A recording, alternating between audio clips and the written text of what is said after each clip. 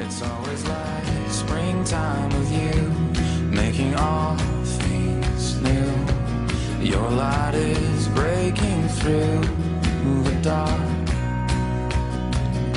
This love, it is sweeter than wine, bringing joy, and bringing light. Your hope is rising like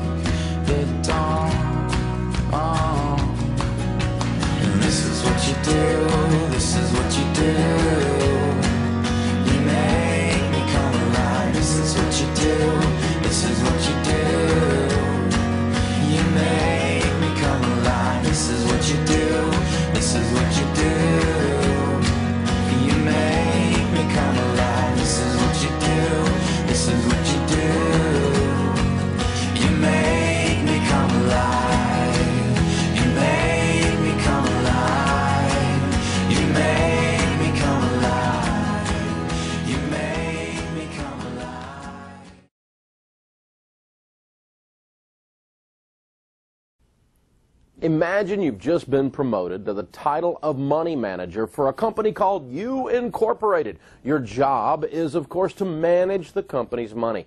If you managed You Incorporated's money the way you manage your own money now, well, would you fire you? Don't answer that. You, you have to tell your money what to do, or it will leave you and go to someone else. A written budget for the month is your money goal. People who win at anything have written goals. Goals are what you are aiming at. Zig Ziglar says, if you aim at nothing, you'll hit it every time. Your money won't behave unless you tame it. Your budget is the, it's the whip in the chair that makes the money behave. You have to be intentional with it. You can't get your head, you can't, you can't operate with your head in the sand.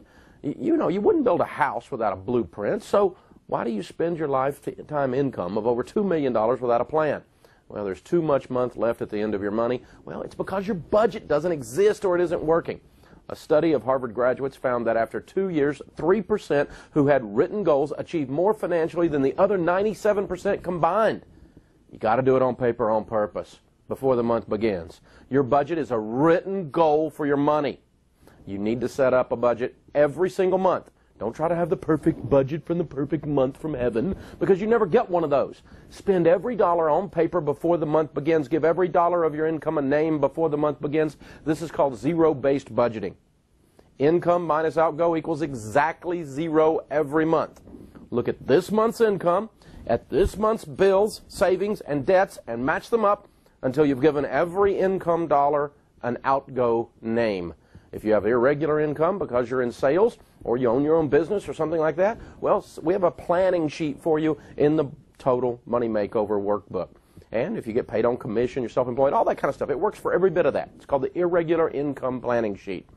You still must do a written budget before the month begins. No one gets out. You got to manage money for you incorporated. If you're married, you and your spouse need to agree on it and well, sometimes that's the hardest part. If you aren't working together, it's almost impossible to win. If something comes up in the middle of the month that causes the budget to need changing, call an emergency budget committee meeting.